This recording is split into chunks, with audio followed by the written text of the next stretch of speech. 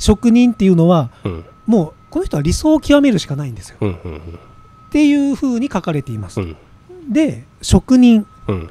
職人は理想を追い求める運命にありますと、うん。そのため適当なところで妥協をしたり納得したりせずうん。どこまでも理想を胸に誇り高く生きようと努力を惜しみませんと、うん。この運命の導きによって職人は頑固者。うん生真面目で神経質な人と思われることもあります。うん。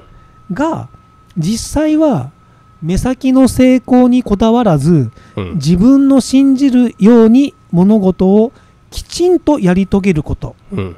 人間らしく生きることをうん。大切にする人なのですと。うん。なのでその、まあ、例えば軍人さんがはい。勝ちだとすると、うん。結構人を蹴落とすのがうん。戦いだと思っている、うん。あ人生だと思っている、から人を平気で蹴落とす。っうん。ていうのは君も蹴落とせばいいんだよ。うん。って思ってるから、それが人生だろ？ううん。っていうのをうん。多分この職人の人は多分しないんでしょうね。人間は違うだろう。うん。っていうところがあるんでしょうね、はい。じゃあ職人の幸せ。うん。要は、えっと、軍人から見ればうん。自分の好みだけ主張するエゴイスト野郎ん？何？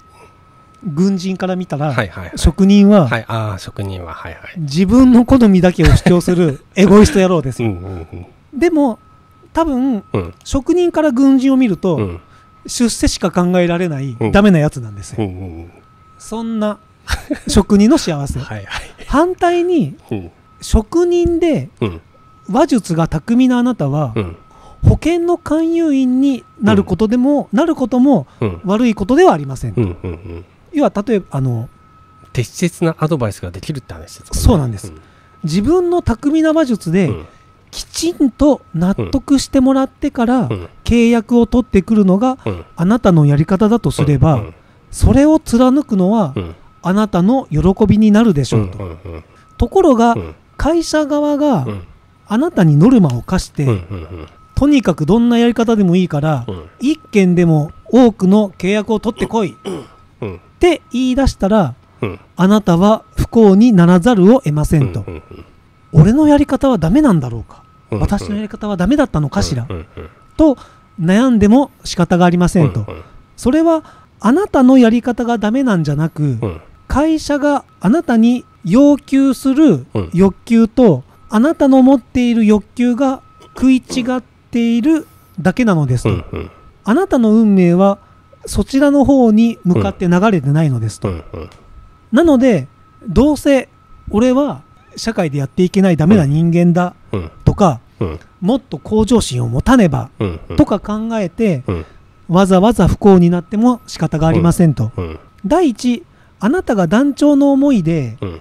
あなたのやり方を曲げてうん。たとえトップになったとしても、うん。それで喜ぶのは会社だけですと。肝心の あなた自身はちっとも嬉しくないはずですと、それを心の底で知ってるからこそあなたはそんな契約件数にはこだわれないのですと。わかる気がします。分かる気がするんですよ、そうなんですよ、ん。もうあのこれまたどこの本でも言ってますが、うん。自分で決めていいんですよ。うん。決めるのは自分でいいんですよっていう行動自分の行動を。そう。うん。要は会社がこうやってやれって言った。うん。もう決めるのは自分でいい。うん。幸せは自分で決めていいって言うんですよね、うんうん。すいません。はい。職人の場合はうん。他人に対する思いやりや心遣いに欠けるという批判に弱いようですと、うんうん。えー自分のことを人間のクズ、うんダメなやつ。うん。と考えたりしますいつも明るくてみんなを引っ張っていく人間を見るとうん。劣等感を感じてしまいます自分もそんな人間になりたいと、うん。無理に明るく振る舞ってみたりもしますと。うん。でもそれは常に好かれたいって思って行動しているうん。王様に勝てるはずがないと。うん。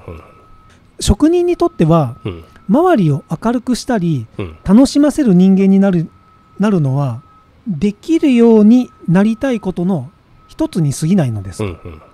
それよりもうん。人間とはどうあるべきか。うん。男性とは女性とはうん。どうあるべきか。うん。といった問いを突き詰めていくことの方がうん。運命に逆らわない幸せなのですと